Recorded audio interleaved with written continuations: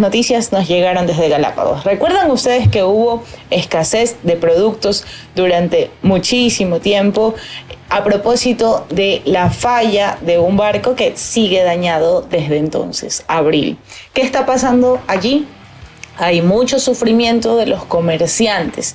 No solamente se afectan los alimentos, también se afecta el sector productivo de diferentes ramas. Hemos accedido a entrevistas primero a los transportistas de Guayaquil, porque como no hay embarcación que mueve las cajas a la isla San Cristóbal, adivinen qué pasa. Están varados en el puerto hasta tres días. Hemos accedido a ellos, a la información que nos tienen, a cuánto gastan, a cuánto sufren. El Ministerio de Transporte y Obras Públicas también ha sido consultado por la defensa a propósito de este tema y de eso les cuento después del video.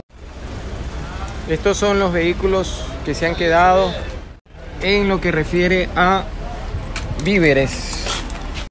Todo este conglomerado de personas son las que se han quedado la carga.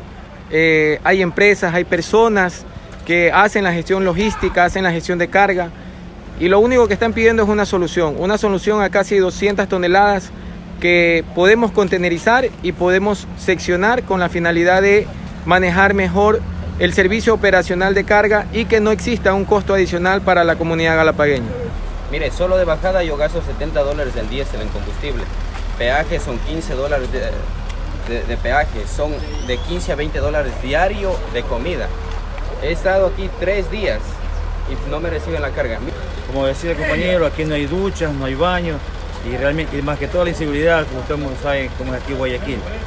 ¿Cuál es su petición? La petición mía es que traten de solucionar, eh, este problema eh, poniendo contenedores para que por lo menos nos reciban la carga y nosotros pues podamos retornar nuevamente a nuestras ciudades aterrizando las cosas y conociendo de que un contenedor vale 5 dólares el alquiler diario, si nos contenerizan toda la carga, nosotros podemos bajar el costo operacional que va a tener nuestro cliente. Regresar estos vehículos a las bodegas va a ser un costo muy excesivo. Entonces, ¿qué es lo que estamos pidiendo? Que la naviera, la operadora, puedan consolidar la carga y puedan receptarnos esta carga. Aproximadamente hay un total de 25 vehículos acá afuera, con un promedio de tonelaje en un aproximado de 200 toneladas. Entonces, 200 toneladas que pueden ser viables para que la comunidad galapagueña no pague el costo adicional de lo que genera descargar y volver a cargar un camión.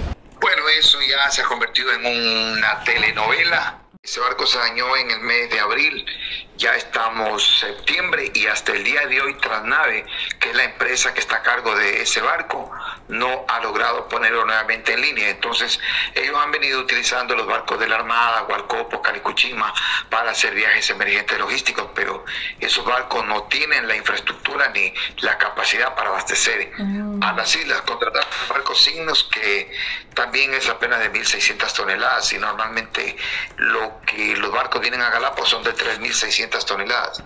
Entonces todo eso ha generado un cuello de botella.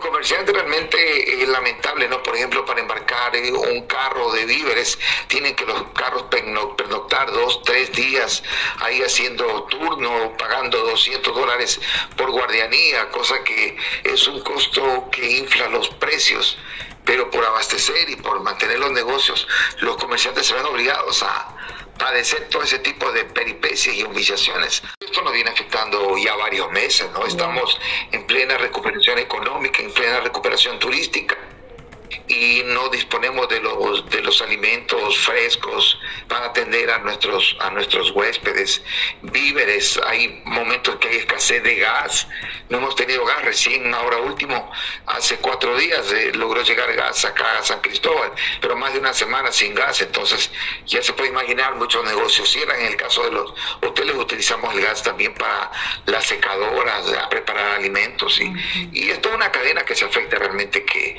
no nos permite dar un buen servicio. Bien, como yo les dije, el Ministerio de Transporte y Obras Públicas ha sido consultado por este tema y bueno, ya está en camino la respuesta. Entendemos que la gente de Galápagos está desesperada y el viceministro de Transporte y Obras Públicas se ha reunido con ellos ayer en la noche y esta mañana hubo una inspección. Entonces, ¿qué está pasando? Hay daño colateral de ese barco que todavía está dañado a propósito de lo que ustedes escucharon. No se puede embarcar la carga y que no se puede embarcar la carga, como lo vieron en la nota, ese cuello de botella hace que la gente que viene con los productos desde provincia para la isla y que sale del puerto de Guayaquil no pueda. Y se tienen que regresar con el producto y muchos son alimentos, alimentos perecibles. ¿Saben lo que significa eso en costos para los comerciantes de allá? Bueno, es un impacto muy, muy grande el que está sucediendo en las Islas Galápagos y es necesario que las autoridades tomen control de eso, en lugar de andar apurando eh, algunos algunas carteras de Estado, contratos millonarios antes de irse, ¿por qué no solucionan lo urgente?